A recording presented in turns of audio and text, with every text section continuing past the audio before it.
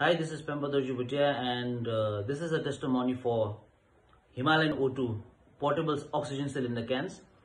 So a couple of months back, uh, me and some of my friends, we decided to visit uh, North Sikkim, uh, Lachung, Gurudungmar Lake and come to come back to Lachung. And uh, some of my friends, they were from the mainland, so uh, for emergency cases, my friend uh, Nitin Rai suggested me to carry some oxygen cylinder cans, and uh, I bought them with me uh, for the trip, uh, hoping not to use it. Uh, so we all went to Lachung. It was fine out there, and the next day we we traveled to Gurudungmar Lake. But in Gurudungmar Lake, something happened. I started getting hyper uh, because of the beauty and stuff and you know running here and there and picking up uh, there was some garbage that we picked up as well. Uh, so because of all those activities i started running out of breath. And uh, i was hoping the mainlanders would be using the oxygen cylinder cans but the first one to use it was me okay?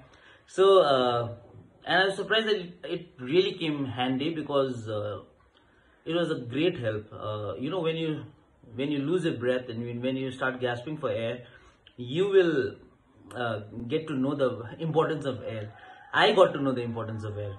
Uh, and uh, I was underestimating the product first. Uh, to be fair, it was very light and stuff, uh, but it really, really helped me. Uh, it really helped me to, you know, get back to the state that to normal state and uh, i would suggest everybody uh, when they whenever they are traveling uh, to a high altitude to carry those cans uh, it really came in handy. So uh, kudos to the whole team of uh, himalayan o2 and a great product which which will just save lives a lot of lives.